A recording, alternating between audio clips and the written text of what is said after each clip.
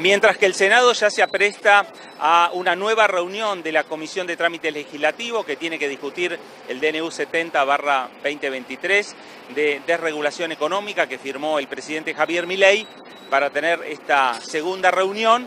En la zona de Congreso ya comenzaron los preparativos pensando en lo que va a ser el día de mañana, 9 de la noche, la Asamblea Legislativa que va a encabezar el presidente de la Nación, abriendo un nuevo periodo de sesiones ordinarias del Congreso.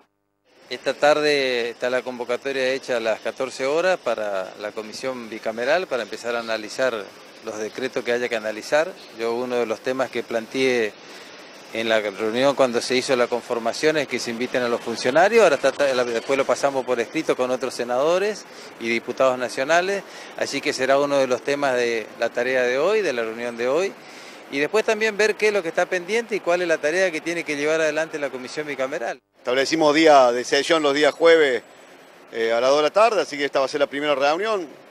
Obviamente tenemos una pila de DNU para analizar, por supuesto hay mucha expectativa en el último DNU, que es el que ha generado tanta expectativa. Eh, bueno, habrá que ponerse de acuerdo cómo va a ser la mecánica y qué, por dónde vamos a arrancar y, en qué tiempo lo vamos a hacer. Yo no le doy debate ideológico a las cuestiones que, son de de pleno derecho. ¿Tienen derecho los senadores a pedir una sesión especial? Sí. ¿Lo establece el reglamento? Sí.